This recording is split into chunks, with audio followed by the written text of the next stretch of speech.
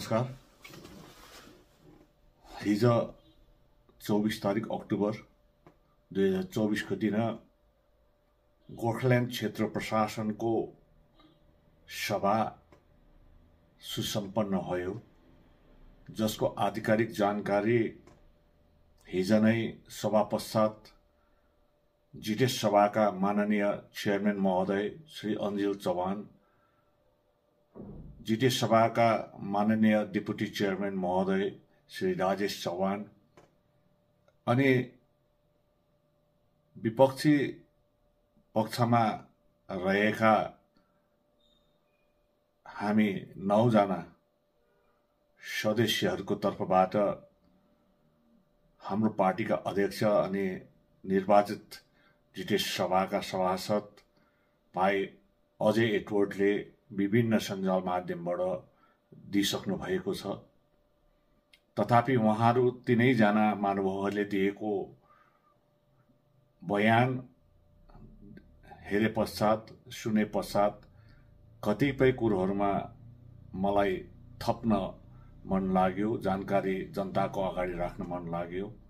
यसोसले उहाँहरू तिनैजनाप्रति म माफी चाहँदै साथै अनुमति लिँदै यो दुई चारवटा कुरा म राख्न चाहन्छु। केही महिना अगाडि कालिम्पोङको एउटा एक अन्तर्वार्तामा मलाई प्रश्न गरिएको थियो पत्रकार भाइले कि जिटिएको अवस्था वर्तमान अवस्था के छ भनेर। अनि उक्त प्रश्नमा मैले उत्तर दिएको थिएँ कि हालमा वर्तमानमा जिटेको अवस्था दाँत नभएको अनि नङ्ग्रा नभएको बाघ जस्तै छ हेर्दा त बाघै हो तर यसले शिकार गर्न सक्दैन भन्ने मैले भनेको थिएँ। तर हिज जुन प्रकारको सभा भयो सभा सौहार्दपूर्ण वातावरणमा त्यहाँ विपक्ष र पक्षको कुरा आएन तर पहाडको आम नागरिकको जनताको समस्या र दुखेसोमाथि अब के कसो हामीले ती समस्याहरूलाई निवारण गर्न सक्छौँ। यी विषयहरूमाथि विविध चर्चा परिचर्चा भयो। यो वातावरणमा जुन प्रकारको वातावरणमा हिजोको सभा सम्पन्न भएर गयो आशा साँचेको छु। मैले जुन बयान दिएको थिएँ पहिला पत्रकार सम्मेलनमा अघि भनिहालेँ कतै कतै अब दाँत आउँछ कि? जित बाघको मुखमा पनि।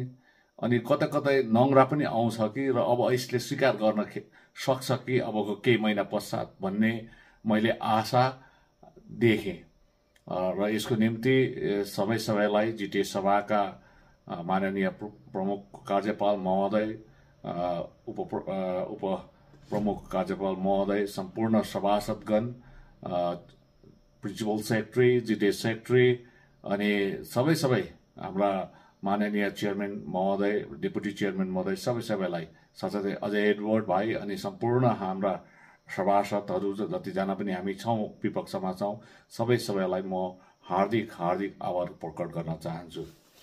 र विशेष गरेर उहाँहरूले एक्जिक्युटिभ सभाहरू विभिन्न समयहरूमा राखेको रहेछ र त्यो सभामा जुन प्रोसिडिङहरू भएको थियो त्यो सभाहरू तिन एघार दुई हजार तेइस तिन तारिक नोभेम्बर दुई हजार तेइस पाँच तारिक फरवरी दुई हजार चौबिस आठ तारिक फरवरी जुलाई दुई हजार चौबिसमा तिनवटा जुन जिटिएको एक्जिक्युटिभ सभामा राखेको प्रस्तावहरूलाई अनुमोदन गर्नु थियो र यो अनुमोदन गरियो।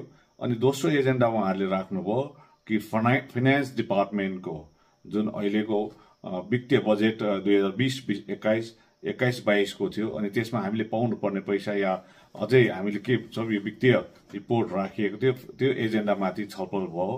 अर्को हो शिक्षा विभागको एउटा एजेन्डा थियो। त्यो एजेन्डामाथि पनि हामीले छलफल गरेर अनुमोदन दिइसकेका छौँ।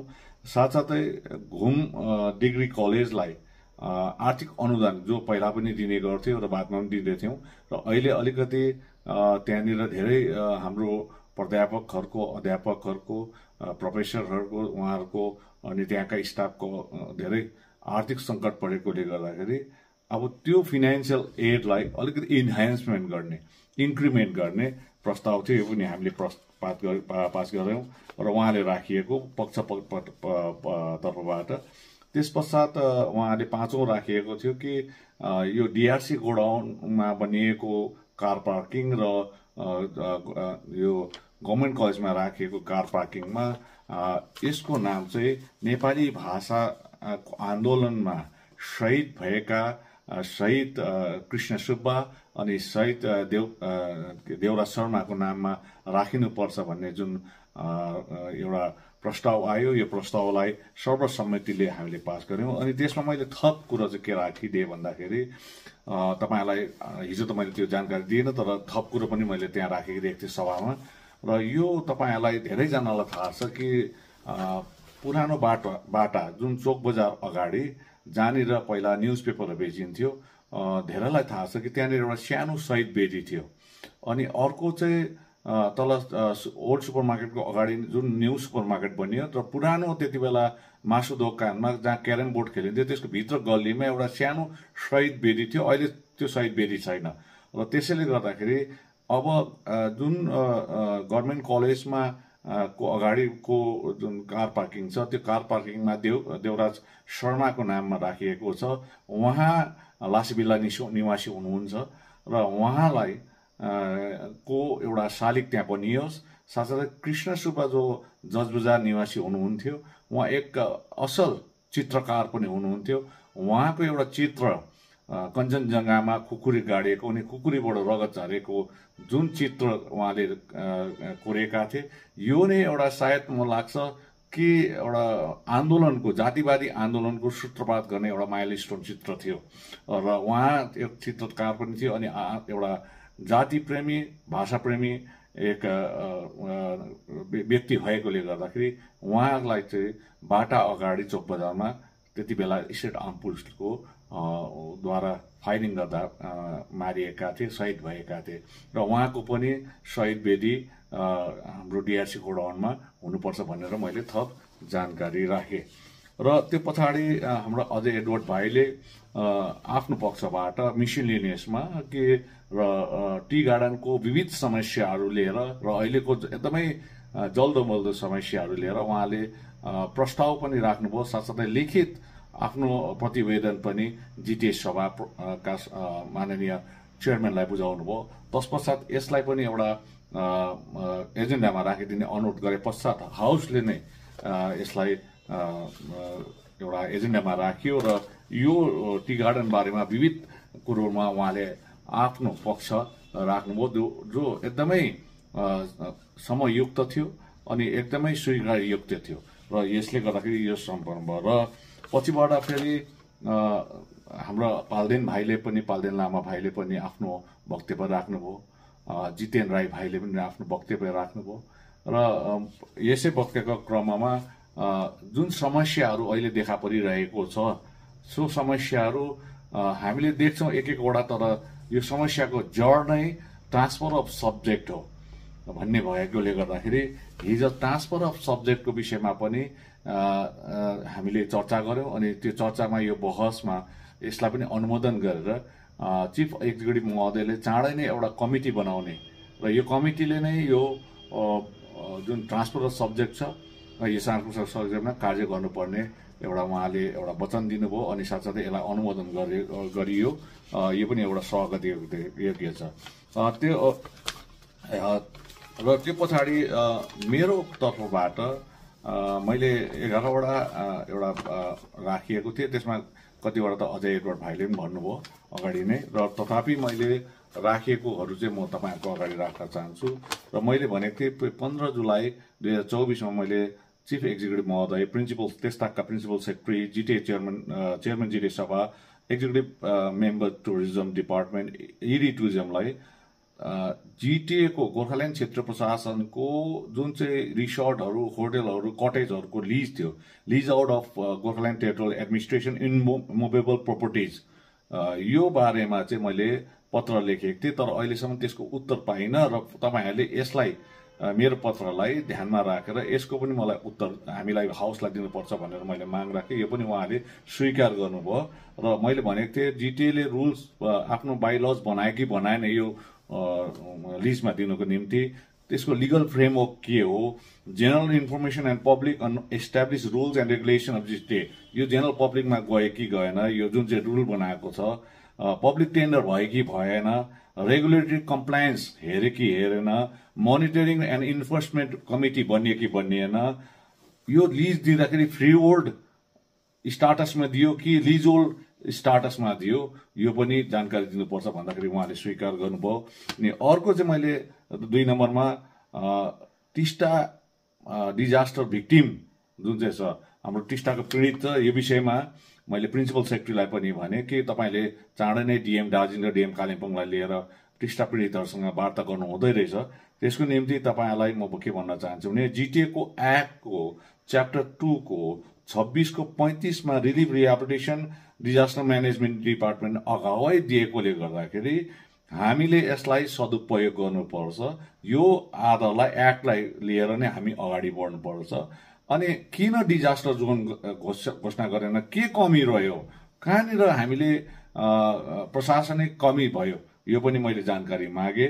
अनि उहाँलाई यो पनि बताइदिएँ कि पन्ध्र तारिक नोभेम्बर दुई हजार सालमा जुन government of India government of West Bengal NSPC र दार्जिलिङ कोर्टका हिल काउन्सिल त्यति बेलाका माझमा जुन सम्झौता भएको थियो। त्यो सम्झौता हेर्नु आवश्यक छ। साथसाथै तिन तारिक जुलाई दुई हजार पन्ध्रमा government of India government of West Bengal NHPC र डब्लुबिएसडिसिएल माझमा भएको सम्झौतालाई पनि हेर्नुपर्छ। अनि यो दुईजना दुईटा सम्झौतालाई हेरेर त्यो सम्झौताको आधारमा सिग्नेटरी अथोरिटीहरूले यदि आफ्नो वचन पुरा गर्यो भने सायदै हाम्रो नेसनल हाइवेका जति पनि पीडित परिवारहरू छन् नेसनल हाइवेमा जे जति पनि प्राकृतिक प्रकोपहरू छ यसको समस्याको समाधान हुनेछ भनेर मैले राखिदिएँ। अनि रिहेबिलिटेसन बारे र कम्पन्सेसन बारे पनि मैले त्यहाँ राखेको हुनाले उहाँले यसलाई पनि एउटा स्वागत गर्दै लिनुभएको छ। र अर्को चाहिँ टी गार्डन इस्यु जुन हाम्रो अझै एडवर्ड भाइले राख्नु भएको थियो त्यसमा उहाँले ताउजी डिपार्टमेन्टको पनि कुरा गर्नुभयो। मैले त्यसमा थप अझै उहाँलाई राख्नु उहाँले राखेकोमा मैले भने कि हामीले कहिले पनि चियाबारी जिटिएमा पर्दैन टी गार्डन जिटिएमा पर्दैन भन्नु हुँदैन। कारण जिटिए एक्टको च्याप्टर एकको डेफिनेसन टूको ओमा नै region means the territory comprising of three hill sub divisions of Darjeeling district including mouzas of sub Siliguri sub division अठार मौजा थियो र यो लेखिएको छ र त्यसमा एक्सक्लुडिङ टी गार्डन भनेको छैन। र यो रिजनमा परेकोले गर्दाखेरि टी गार्डन पनि जिटिएभित्र नै पर्छ र त्यो बाहेक चौधी डिपार्टमेन्ट पनि जिटिएलाई दिएको छ कारण यो जिटिए एक्ट बनिनु अगाडि त्यस्ता आन्दोलन गर्ने party Gorkha Janmukti Morcha tea board of India government of west बेङ्गलको माझमा अठार तारिक जुन दुई हजार एघारमा एउटा सम्झौता भए पश्चात यो कुरोलाई जिटिएको एक्टको च्याप्टर टूको छब्बिसको सन्ताउन्नमा टौजी डिपार्टमेन्ट दिएको छ। अब त्यो तौजी डिपार्टमेन्टको डेफिनेसन म छोटोमा भन्न चाहन्छु जो हिजो पनि मैले भने कि the department that is the incharge of leasing out of land owned by the West Bengal government including tea estate. Renewal of lease receiving annual rent यो लेखिएको छ। र हामीले अब तौजी डिपार्टमेन्ट अन्तर्गत यो विभिन्न समस्या उत्पन्न भएको चिया बगानमा भएको उत्पन्न भएको समस्याहरूको समाधान गर्नुपर्छ भनेर मैले राखेँ। साथसाथै जिटिए सभाले चाँडो चाँडो भन्दा एउटा प्रस्ताव पारित गरेर इम्प्लि यो मिनिमम वेज एक्ट इम्प्लिमेन्टेसन हुनुपर्छ भन्ने गर्नुपर्छ भने अनि अर्को कुरो बोनस वर्षै पछि झमेला हुन्छ। आज मिल्यो अर्को वर्ष मिल्दैन अर्को वर्ष मिल्यो अर्को वर्ष मिल्दैन। ल लङ टर्म सेटलमेन्ट बोनसको हुनुपर्छ। कमसेकम मैले भने दस वर्षसम्म यो बोनसको मिटिङ नबसोस्। हामीले एउटा सेटलमेन्ट गरिहाल्नुपर्छ भन्ने पनि राखेँ उहाँले लिनुभयो। र अस्ति नौवटा क्लोज टी गार्डनहरू मध्येमा केवल पाँचवटा मात्रै फौलाई पाउँछ अरूले पाएको छैन। यो कुरो पनि मैले राखेँ। र अर्को चाहिँ नेपालको चियापत्तीलाई ब्यान्ड गरिएको हुनुपर्छ। यो पनि मैले राखिदिएको छु र आइटिसी ग्रुप अफ होटेल्सले जुन प्रकारले विभिन्न चिया बगानको चिया बगानहरूमा फाइभ स्टार होटेल खोल्ने रिसोर्ट खोल्ने छ यसलाई जिटेको अनुमति बिना दिनु हुँदैन भन्ने मैले राखेको छु। साथसाथै जुन एउटा जिटिए चेयरम्यान रिलिफ फन्ड जो बाँडियो त्यो बाँडिएकोमा मेरो कुनै आपत्ति छैन तर कुन कुन कमानमा कतिजना श्रमिकहरूलाई कतिको दरले बाँडियो यसको पूर्ण जानकारी चाहिँ हामीलाई दिएको हुनुपर्छ भन्ने उहाँलाई राखेँ। अर्को कुरो मैले के राखेँ भने नेपाली ल्याङ्ग्वेज नेपाली भा भाषाको मान्यता दिवसको दिन प्रमुख कार्यपाल महोदयले दार्जिलिङ पहाडमा अब नेपाली भाषामा लेखिएको बोर्ड हुनुपर्छ दोकानतिर हुनुपर्छ भन्नुभयो। त्यसको ठिक एक हप्ता एक एक सप्ताह पछाडि एक हप्ता पछाडि प्रिन्सिपल सेक्रेटरी त्यस्ताका प्रिन्सिपलहरूले एउटा अर्डर पनि निकालिदिएको थियो दार्जिलिङ पहाडमा। सबै नेपाली बोर्डहरू लागिन्छ सबै ठाउँमा लाग्यो। तर विभिन्न जग्गामा त्यो पछाडि झन् बङ्गलामा बोर्ड लाग्यो। र यो कुरो चाहिँ हामीले लिनुपर्छ सिरियसली र केवल जिटिएको कार्यालयमा मात्र होइन तर बिडिओ एसडिओ सबै गभर्मेन्ट कार्यालयमा इन्क्लुडिङ भारत सरकार र पश्चिम बङ्गालको कार्यकलापमा पनि लगाउनुपर्छ भन्ने मैले राखिदिएँ। अर्को थियो जसरी अहिले एघारवटा कम्युनिटीको बाह्रवटा कम्युनिटी एउटा थपेको छ माझी यो विषयमा धेरै पहलहरू हुँदैछ। जिटिएले पनि पहिला यसरी नै जिटिए सभामा जति बेला विमल गुरुङ दाजु चिफ एक्जिक्युटिभ हुनुहुन्थ्यो त्यति बेला सभामा हामीले एघारवटा जातलाई को एउटा प्रस्ताव पारित गरेर हामीले सेन्ट्रल र स्टेटलाई पठाएको थियौँ। त्यसरी नै रेजुलेसन अब बाह्रवटा कम्युनिटीको पनि पठाउनुपर्छ भनेर मैले राखेको अर्को कुरो र गार्डन र गङ्गामाया पार्क। एउटा टुरिस्ट स्पट हो टुरिस्ट सेन्टर हो यो जो पनि टुरिस्ट आउँछ अरू टाइगर नजाला अरू जग्गा नजाला तर र गार्डन गङ्गामाया जान्छ। तर यसको एकदमै अवस्था जीर्ण भएको छ। यसलाई चाँडोभन्दा चाँडो पहिलाकै अवस्थामा ल्याउनु पर्छ भनेर मैले जानकारी राखेँ। अनि साथसाथै जुन बाटोको अवस्था छ डाली फाटकदेखि लिएर रिसियाट खासमा फाटकसम्म यो लाई मर्मती गर्न आवश्यक छ अनि धेरैवटा जग्गामा धेरै चर्किएकोले गर्दाखेरि भोलिको दिनमा धन जन घरको हानि हुने सम्भावना मैले राखिदिएँ र उहाँले यसलाई पनि स्वीकार गर्यो।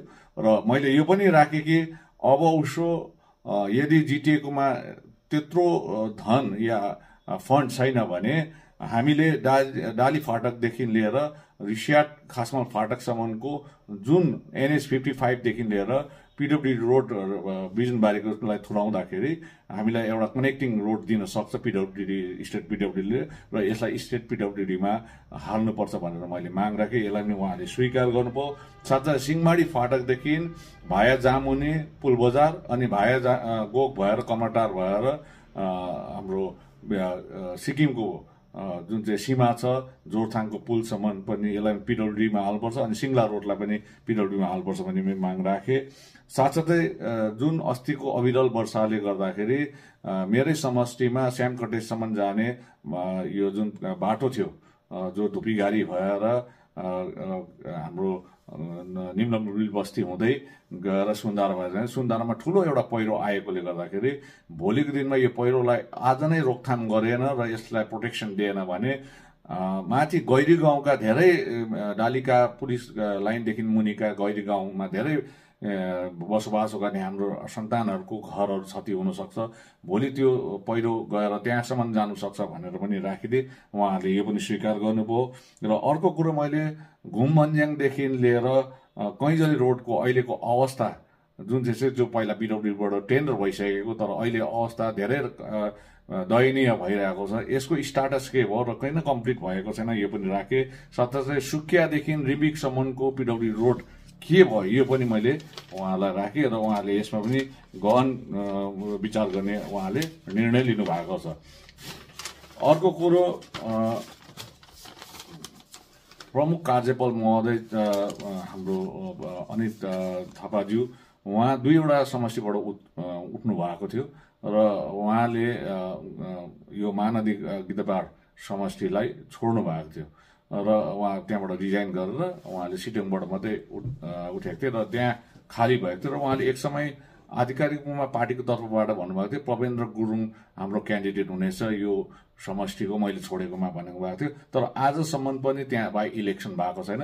मैले चाँडोभन्दा चाँडो पश्चिम बङ्गाल राज्य सरकारसँग सम्पर्क राखेर यो बाई इलेक्सन गराइहाल्नुपर्छ त्यो रिक्त पदमा र जसको एक्ट हाम्रो जिटी एक्टको दुई हजार एघारको च्याप्टर एकको तेह्रमा तिन चार र पाँचको जुन चाहिँ कुरो छ यो कुरोहरूलाई मेन्सन गरेर चाँडोभन्दा चाँडो त्यहाँ पनि बाई इलेक्सन गराउनु पर्छ भन्ने कुरो राखेँ। अर्को कुरो दार्जिलिङ पहाडको कालिम्पोङ खरसाङ र मिरिकको जुन म्युनिसिपालिटीको चुनाव छ त्यस पनि चाँडोभन्दा चाँडो गर्नुपर्छ। साथसाथै दार्जिलिङको वार्ड नम्बर ट्वेन्टीको बाई इलेक्सन पनि त्यसैसँग गर्नुपर्छ भन्ने मैले त्यहाँ माग राख्दाखेरि। किनभने हाम्रो यो जिटिएको एक्टमै लेखिएको छ र हामीले यसलाई पनि प्रयोग गर्न सक्छौँ उपयोग गर्न सक्छौँ भनेर मैले त्यहाँ जनाइदिइसकेपछि र साथसाथै बाह्र तारिक सेप्टेम्बर दुई हजार चौबिसमा अनरेबल हाइकोर्टको अनरेबल चिफ जस्टिस अनि अनरेबल जस्टिसले अलरेडी अर्बन डेभलपमेन्ट र म्युनिसिपल एफेयर्स डिपार्टमेन्टलाई यसबारेमा छ हप्ताभित्रमा यो सम्पूर्ण कार्यहरू चुनावको कार्यहरू सम्पन्न गर्ने उहाँलाई आदेश दिए तापनि छ हप्ता पुगिसकेर पनि पश्चिम बङ्गाल सरकार मौन रहेकोमा मैले अलिकति आपत्ति पनि जनाएँ र यो कुरोहरू पनि मैले त्यहाँ जनाइदिएको छु जसलाई हिजो सभाले स्वीकार गरेको छ। साथसाथै स्टेट युनिभर्सिटी जो छ त्यहाँ पढ्ने नानीहरूले धेरै असुविस्ता भइरहेको कुरो हामीले सुनिरहेका छौँ र यसले गर्दाखेरि स्टेट युनिभर्सिटी जो जोगीघाटमा बनिरहेको छ स्टेटले नै उहाँले नै दिएको भएकोले गर्दाखेरि दिने भएकोले गर्दाखेरि उहाँले त्यहाँनिर इन्फ्रास्ट्रक्चर रेडी गरिदिएको हुनुपर्छ। जुन पहिला तिन सौ करोड तिन सौ बत्तिस करोडको प्रोजेक्ट थियो त्यो भएको हुनुपर्छ ताकि फुल फ्लेजेडले सबै डिपार्टमेन्ट त्यहाँ खोलिएको हुनुपर्छ र यो भन्ने मैले माग राखेको देख्छु ताकि हाम्रो नानीहरूले असुविस्ता नहोस् भन्ने राखिदिएको छु। र यो पूर्ण जानकारी तपाईँहरूलाई दिएँ र यति भन्दै तपाईँहरूबाट म बिदा चाहिँ चाहन्छु। धन्यवाद।